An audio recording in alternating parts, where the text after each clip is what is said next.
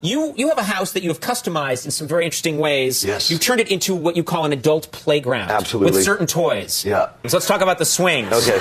You have swings in your in your house. There's one in the bedroom. It's a. It's called a Chinese basket. Heard of the Chinese basket. And And it doesn't. It doesn't how does it work? fruit. How does the Chinese? Yeah, it doesn't hold food. Yeah, yet. exactly. You I have tell a, my kids a- it's a plant hanger. Yeah, yeah, that's good.